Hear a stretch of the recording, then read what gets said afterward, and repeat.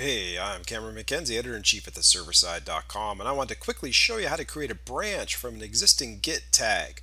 And if you want a spoiler, it's this command here, git branch, branch name tag.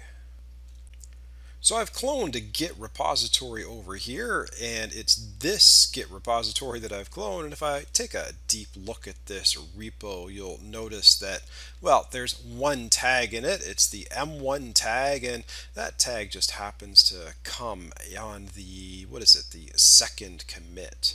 Um, so you can see that over on GitHub, it's a little easier to discertain when we come over to Git here locally. I can go git log dash dash one line and you can see that well I've got an M1 tag milestone 1 on commit F5E240E that one there that was the second commit. So let's just imagine that I wanted to create a new branch off of that commit and I think that in that commit I've got two files Baker and Adam whereas in the current branch that I'm on, which is the main branch at this commit, I've got three files. So let's say we wanted to create a branch off M1 when there was only two different files there. How could we do it? Well, it's just the git branched command.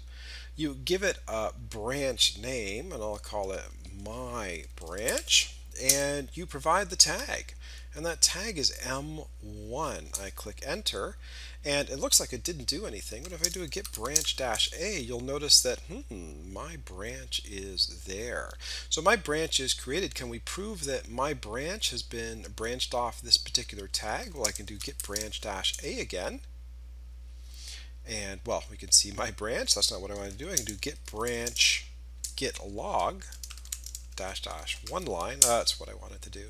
And you can see that my branch is here branched off of tag M1, which is F5E240. Furthermore, if I switch to that branch, git switch, we don't use checkout anymore, we use git switch, and we switch to my branch, we'll notice, look up here, Adam, Baker, Carol.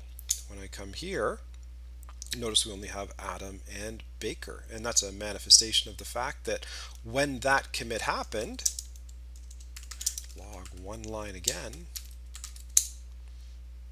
the only files that we had in this second commit was Adam and Baker.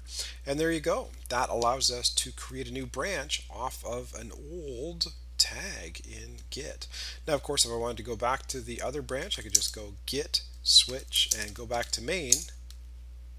And then we get all of our files, and I can go git log one line again, and you can see, yeah, in that third commit we added the Carol file and that's why we have it there. So there you go. That's how you create a branch from a Git commit.